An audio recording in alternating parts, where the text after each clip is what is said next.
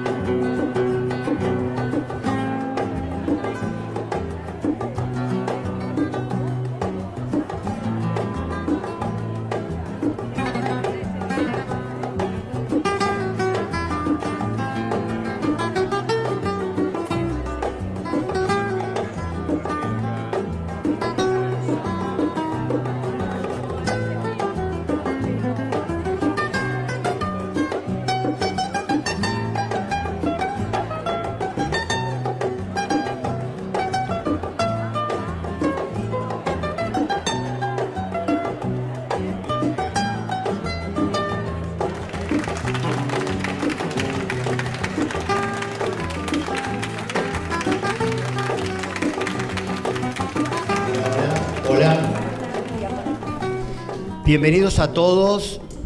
Como presidente de la Asociación de Amigos del Museo Fernández Blanco, es un honor y una alegría inmensa recibir hoy a Ana Rosa Vieira en esta casa, en esta casa que atesora muchos recuerdos, guarda muchos tesoros y entre ese atesorar de recuerdos y de tesoros, hoy tiene la presencia de una mujer admirable, una escultora con una trayectoria brillante y también una amiga. Una amiga que para todos ustedes será una amiga de muchos años, también quizá familiar, antigua vecina. Para mí, una amiga reciente de toda la vida, a la que descubrí hace muy poco en un piso fantástico donde ella y Danila me han recibido entre espejos venecianos, cuadros maravillosos, muebles increíbles, salmón, vino y eneldo. Con Ana Rosa compartimos no solo las obras que son la que es la obra de su vida, sino también compartimos su historia, sus recuerdos, sus pasiones, hasta el flamenco, que es su última pasión y que de alguna manera es la continuación de aquella pasión que comenzó en 1926, hace casi 100 años, en una casa antigua del pasaje Siber. Un momento y un lugar mágico, un lugar mágico como era aquel rincón de Buenos Aires, con su escalinata, con sus farolas de hierro, con aquel aire parisino, con aquellas casas de esa vecindad elegante, familiar y encantadora. Allí vivían los Cordero, allí vivían los... Tengo los Bustillos, bueno, tengo que, tener un, Eso, los Bustillos, los Ruiz Moreno, los Ruiz Guiñazú. En ese, en ese trozo de la historia de Buenos Aires, que al decir del gran Mujica devoró, que fue una calle devorada por el famélico dragón de la 9 de julio, Ana Rosa no solo dio sus primeros pasos en la vida, sino también dio sus primeros pasos en el arte. Porque en aquella casa, en esa casa familiar llena de recuerdos y llena de misterios, también estaban aquellas cuadras de caballos, aquellas cuadras donde incluso llegaron a ser el atelier de De la Cárcova, de García Lagos, y ella en aquellos años 20 veía pasar aquellos caballos que iban al puerto con carros de cereales, los caballos incluso del lechero, ¿no? Y aquello despertó en su espíritu ya artístico esa fuerza que luego plasmó en el bronce, en el papel, y que ha sido y es hoy todavía una de las muestras más claras del arte argentino y, joya de muchas de las colecciones privadas que hay en Buenos Aires y en el mundo entero. Llevada a Europa muy joven por sus padres, continuó su obra, continuó su perfeccionamiento. Un diplomático llegó a decir de ella, siendo muy, muy joven, que su obra era la de un logrado maestro. Allí, por su matrimonio entroncó a su vez con la nobleza europea y con el viejo patriciado argentino, los marqueses de Paravicino, los García Mansilla, ¿verdad? Su tía Adela, la reta de García Mansilla, a la que quisieron como una madre, y luego la vida en Lima, la vida en Buenos Aires, todo ese itinerario de vida que, sin olvidar aquel momento mágico de la creación, no dejó por eso de que fuera una buena madre, una buena amiga y una mujer que brilló en silencio o brillantemente en sus obras allí donde fuera. Ella misma es la que hoy se, refleja en el libro que gracias a Danila tenemos y que es una muestra clara de lo que ha sido este itinerario. Este itinerario que continúa, que continúa, la vemos aquí, Ana Rosa, en la plenitud de su vida, guapa, brillante y con muchas ganas de vivir y de seguir trabajando. Y hasta casi me animo a decir de bailar flamenco.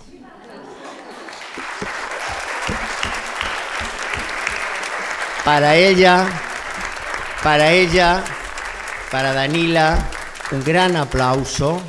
Ella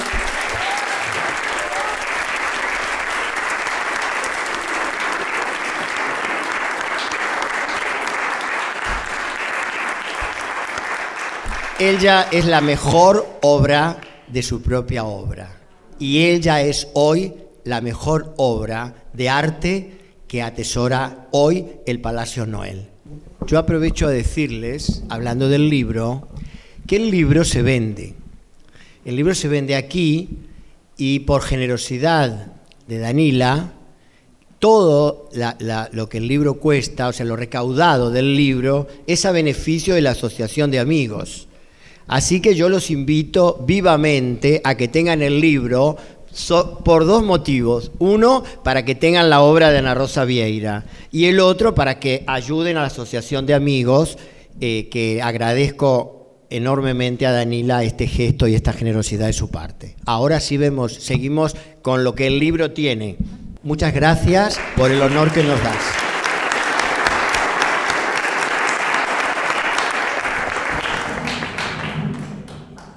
Bueno, eh, buenas tardes. Realmente esta es una tarde sumamente agradable y a mí me hubiese gustado decir todo lo que ha dicho Walter pero, este, pero en realidad no tengo la lengua tan poética. Yo solo quiero referirme a algunas de las obras que he conocido de Ana Rosa. Eh, digamos que eh, hace mi encuentro con la obra de, de esta gran artista es muy reciente. Y yo lo que voy a hacer es mostrarle algunas de esas obras y señalar algunas condiciones que tiene la obra que a mí realmente me parecen sorprendentes porque las obras son estupendas. Y realmente eh, se destaca no solo en una sola técnica, sino que hizo dibujo, hizo pintura, hizo, hizo escultura escultura en distintos, en distintos materiales, utilizando distintas técnicas, y eso es una cosa realmente maravillosa, que yo creo que no se puede perder y que este libro eh, realmente va a contribuir a que eso suceda.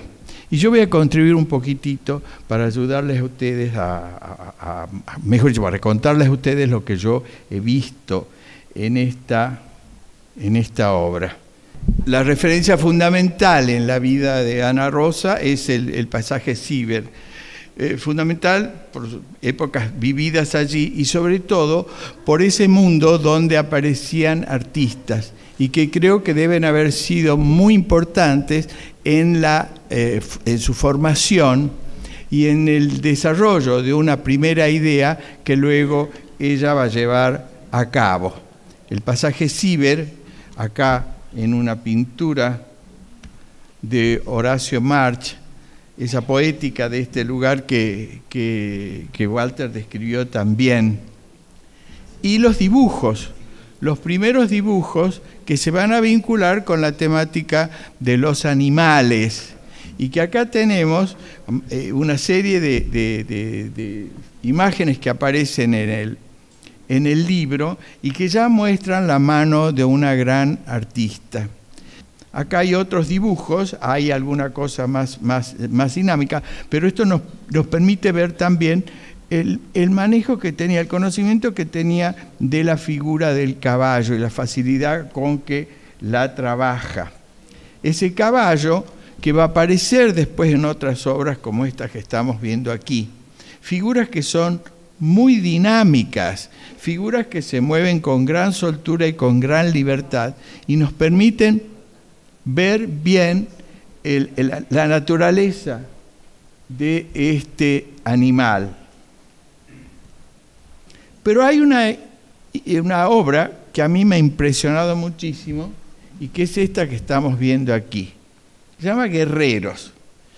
Una obra eh, sumamente interesante porque presenta una serie de figuras, animales y, y, personas que están luchando en una lucha encarnecida. Hay aquí como un nudo de individuos que se están mezclando de, seres que se están mezclando con sentimientos diferentes que aparecen muy bien amalgamados, en la cual podemos descubrir una serie de movimientos de los cuales yo he marcado algunos, formas como estas negras que aparecen ahí, líneas principales que dominan animales o esa figura que se ve de espalda en el conjunto.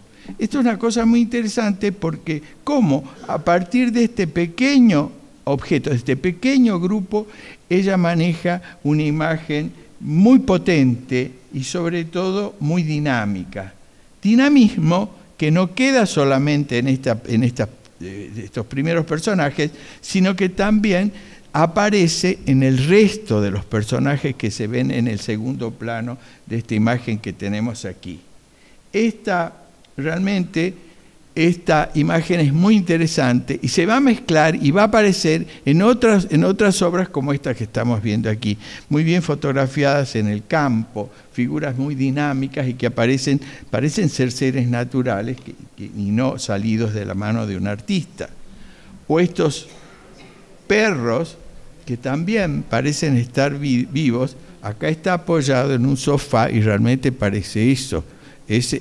Está sucediendo eso con, estos, con estas imágenes. Aquí tienen otro caso de eh, imágenes que a veces fueron reiterativas en la obra de Ana Rosa. Y acá un poco de, un poco de África, un poco de otros animales que se han mezclado en esta biblioteca, digamos, por obra y gracia de la artista. Y también digamos, imágenes, hablando del flamenco, aquí aparece otro, otro, otro tema interesante que es el tema de la, del ruedo. Y eh, eh, a mí me ha interesado esta imagen, primero por, la, por el dinamismo que hay aquí en, en este choque, y segundo me ha interesado por la representación del toro y el dibujo, el valor que tiene el dibujo en la definición de la figura. Esto es una cosa sumamente interesante que se va a replicar en otra imagen como esta que estamos viendo aquí del mismo tema. Y observen estos, estas líneas con las cuales él, ella eh, define el animal. Esto es muy interesante porque esa va a ser la base de otra expresión, de otra expresión como esta que tenemos aquí. Aquí hay una expresión escultórica, digamos, hay una tercera dimensión, pero si ustedes se fijan, van a ver que esta, esta, expresión también está dominada por el dibujo, en cierto modo el dibujo que veíamos allá se ha transportado aquí en esta imagen de la Virgen que estamos viendo allí, o en esta otra imagen del Calvario, una de las estaciones del Calvario, donde domina la línea en la generación de esta figura que vemos en bronce o esta otra. Esta es una serie muy interesante que, eh, que se llama Metamorfosis, donde fíjense que aparece una mujer, pero aparece un toro también. Parece todo, todo esto está combinado, es como si fuese una sola cosa, y efectivamente allí vemos también que aparece esta cuestión principal de la expresión del dibujo. El dibujo evidentemente ha sido una cosa muy importante en la carrera artística del artista. Lo mismo sucede aquí, aquí donde vemos una figura femenina, pero detrás aparece la figura de un caballo. O vemos el caballo o vemos la figura femenina en esta metamorfosis como ella las llamó. Y el dinamismo que veíamos también en la imagen de los guerreros, aparecen otras figuras sueltas como estos bailarines que, que tenemos aquí. Digamos, hay una expresión muy interesante el dinamismo que se ha, se ha eh, plasmado se ha, em, se ha generado allí. Figuras que a veces tienen un toque humorístico como esta que estamos viendo, con el ojo hueco, o esta otra, que está realmente este arlequín, que sirve, que sirve para, para servir las copas a la hora de la tarde. Realmente es muy interesante esta figura también. Es decir, hay un, hay un toque hay un toque, podríamos decir, humorístico dentro de esta obra que, que, resulta realmente de gran interés. Y aquí está la artista trabajando en el taller, rodeada de obras, con una modelo y está trabajando una escultura. Realmente eh, este título, digamos, le deberá haber valido desde el primer momento una gran artista donde la escultura tiene un peso importantísimo. Y vuelvo a su nombre y vuelvo a esa imagen, a esos guerreros en terracota que me habían impresionado notablemente. Fue así. Yo cuando vi esta imagen, inmediatamente la relacioné con otras obras, porque me impresionó muchísimo esta sensación de movimiento, esta, esta capacidad para captar y plasmar el dinamismo de estas figuras, las fuerzas que aparecen jugando allí, en los animales y en, los, y en las obras. Y digamos que esta obra yo la relacioné con esta que estamos viendo, donde también hay un gran dinamismo. Esta obra en realidad es una copia que hace Rubens cuando está en Italia, él estuvo entre 1600 y 1608, de un dibujo de Leonardo da Vinci, que fue la primera obra que me vino a mí a la cabeza cuando vi el conjunto que, Rosa María había, había planteado en ese, en ese pequeño conjunto. Y vuelvo a decir, no sé, si, no, sé si, no sé si ella conoció esta obra, pero hay una, hay una enorme afinidad en el tratamiento de las, de las dos obras. Y en ese sentido, yo tengo que decir que esa afinidad tiene que ver también con el espíritu creador de uno y de otro, de Rubens y de esta señora. Y yo me emociono muchísimo diciendo eso. Bueno, muchas gracias. ¿Qué decir de Ana Rosa? Después de todo lo que han explicado, después de lo de Walter, y de toda la maravillosa descripción de esta artista adorable, yo voy a hablar de la gran sensibilidad de Ana Rosa, del el empuje, de esa fuerza que tiene que nos marca a todos, de la, de la forma en que está permanentemente viendo y atendiendo lo que sucede alrededor, de su corazón compasivo, en el cual está atento siempre a qué le falta, qué necesita, cómo puedo ayudar al otro esa forma de captar, que después por, supuesto la pone en su obra, a, a todos los que la rodean, también a los animales. Y todo lo tomándolo con sentido del humor, porque en los peores momentos siempre tiene una frase que nos hace reír, nos descoloca y decimos, bueno, se sigue. Ha pasado por todas, yo cada vez la admiro, todos los que estamos alrededor la admiramos, la respetamos, la queremos más. Por eso le decimos la gurú, es nuestra gurú. Y bueno, la manifestación que tenemos todos, yo les presento a una gurú en el arte, en la vida y sobre todo una gran amiga. Pido un aplauso para ella.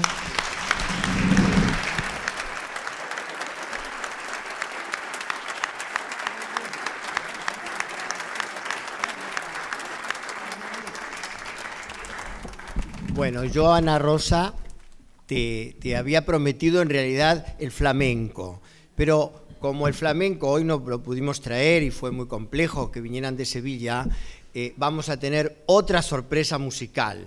Y el, y el, flamenco será otro día ya por todo lo alto, la próxima. Entonces hoy la sorpresa musical viene de la mano de alguien que te quiere mucho también, ¿sabes? Que es Pitu Antequera.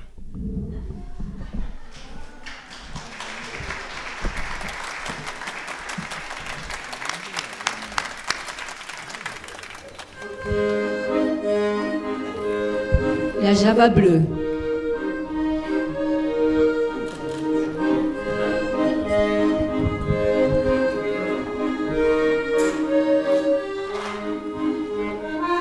C'est la java bleue, la java la plus belle, celle qui en sorcelle quand on la danse les yeux dans les yeux au rythme joyeux. Quand les corps se confondent, comme elle au monde il n'y en a pas deux, c'est la java bleue. Il est au bal musette, un air rempli de douceur qui fait tourner les têtes, qui fait chavirer les cœurs. Quand on le danse à petits pas, en serrant celui qu'on aime dans ses bras, tout balondi dans un frisson, en écoutant jouer l'accordéon. C'est la java bleue, la java la plus belle, celle qui en sorcelle quand on la danse les yeux dans les yeux au rythme joyeux.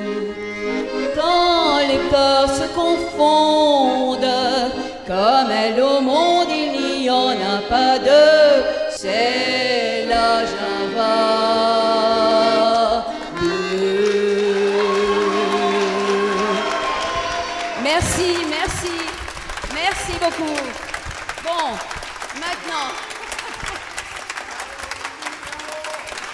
gracias, muchas gracias y felices de estar aquí con vos esta noche, Ana Rosa. Muchas gracias.